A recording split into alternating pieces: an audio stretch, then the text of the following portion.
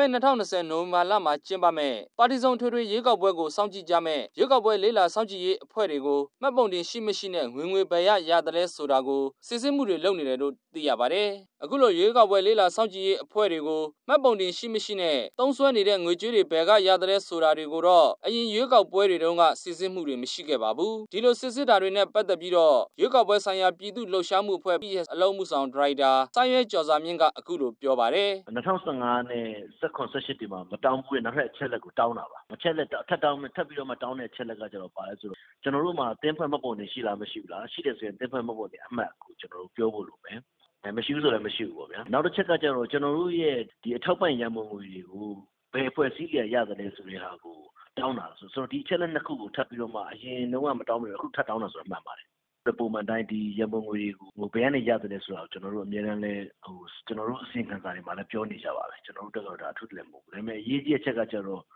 ဟောစောင့်ကြည့်လေ့လာခွင့်ပေးမပေးကိုဒီချက်တွေပေါ်မှာမူတည်ပြီးဆုံးဖြတ်သလားဆိုတာတော့ဒါကျွန်တော်မပြောတတ်ဘူးကျမပြည်စည်းခဲ့တဲ့ရေကောက်ပွဲတွေမှာ လေးလာစောင့်ကြည့်သူတွေလိုက်နာရမယ့်ရွေးကောက်ပွဲဆိုင်ရာကျွေးဝဲမှာရွေးကောက်ပွဲဥပဒေနည်းဥပဒေအမိန့်ကြော်ညာချက်တွေကိုလေးလာနိုင်တယ်လို့ပါရှိခဲ့ပေမဲ့2020ရွေးကောက်ပွဲမှာဒီအချက်ကိုဖယ်ထုတ်လိုက်တယ်လို့လည်းသိရပါတယ် ဒီအခြေအနေနဲ့ပတ်သက်ပြီးတော့နယူးမြန်မာဖောင်ဒေးရှင်းကရွေးကောက်ပွဲအကြံပေးဒေါ်မြတ်နာနာသင်းကအခုလိုပြောပါတယ်။ရွတ်သွားခဲ့တဲ့ဟာဆိုရင်တော့ဘယ်လိုဟာမျိုးလဲဆိုရင်ဒီပြီးခဲ့တဲ့အရင်အချိန်တွေတုန်းကဆိုရင်ကျမတို့ဒီ COC ထဲမှာဒီရွေးကောက်ပွဲဥပဒေနည်းဥပဒေဒီအမိတ်ကြော်ညာချက်တွေကိုလေ့လာနိုင်တယ်ဆိုတဲ့ဟာမျိုးတွေနောက်ပြီးတော့မဲဆန္ဒရှင်သတင်းအချက်လက်နဲ့ပတ်သက်တဲ့အဲဒီသတင်းအချက်လက်ရယူခွင့်တို့နောက်ပြီးတော့ကျမတို့ဒီရွေးကောက်ပွဲကန့်ကွက်မှုကန့်ကွက်လွှာတွေနဲ့ပတ်သက်ပြီးတော့မှဒီလေ့လာနိုင်တဲ့ဟာတွေပေါ့နော်ဆိုတော့အဲ့ဒီအချက်တွေကတော့ပြည့်ပြည့်စုံစုံပါခဲ့တယ်အဲဒီဒီချိန်မှာတော့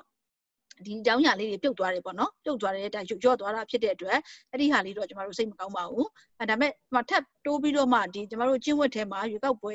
လိလာသူတွေပို့ပြီးတော့အဲဒီလှုပ်ရှားနိုင်မဲ့ဟာပေါ့နော်ပို့ပြီးတော့မှဒီမှာ တခုလေးလာခွင့်တခုအနေနဲ့ဆိုရင်ထပ်ပြီးပို့လာတာကတော့ဒီစစ်သက်ညီနိုင်ရေးပေါ့နော်ဒီစစ်သက်ညီနိုင်ရေးနဲ့ပတ်သက်တဲ့အချက်လက်တွေကိုလေးလာလို့ရတယ်ဆိုတဲ့တစ်ချက်လေးကတော့ကျမတို့ရဲ့ဒီလှုပ်ခွင့်ရှိတဲ့အချက်တွေထဲမှာပို့တိုးလာတယ်။ကောက်ပွဲလေးလာစောင့်ကြည့်ရေးအဖွဲ့တွေအနေနဲ့ရွေးကောက်ပွဲဥပဒေကိုလက်ရှိနိုင်ငံရေးအခြေအနေနဲ့လာရောညီထွေမှုရှိတဲ့ဥပဒေတရက်ရွေးဆွဲဖို့ကိုလည်းလိုလားနေကြပါတယ်။လက်ရှိမှာတော့အင်အားကြီးပါတီတစ်ခုဖြစ်တဲ့အမျိုးသားဒီမိုကရေစီအဖွဲ့ချုပ် NLD ပါတီကတော့လာမယ့်ရွေးကောက်ပွဲမှာကိုယ်စားလှယ်1132ဦးထိဝင်ရောက်ရှင်ပြိုင်သွားမှာလည်းဖြစ်ပါတယ် အခြားပါတီတွေကတော့ကိုယ်စားလှယ်လောင်းစစ်စစ်ရွေးချယ်မှုတွေလုပ်နေပြီးတော့အင်အားကြီးပါတီတစ်ခုဖြစ်တဲ့ပြည်ထောင်စုကြံ့ခိုင်ရေးနဲ့ဖွံ့ဖြိုးရေးပါတီ USDP ကတော့အောက်ကောက်လဆိုင်းမမှာကိုယ်စားလှယ်လောင်းအမည်စည်းရင်းနဲ့ဝင်ရောက်ရှင်ပြိုင်မဲ့မဲဆန္ဒနယ်တွေကိုထုတ်ပြန်ပေးသွားမယ်လို့လည်းသိရပါတယ်ကျွန်တော်ချမ်းငိမ့်ပါ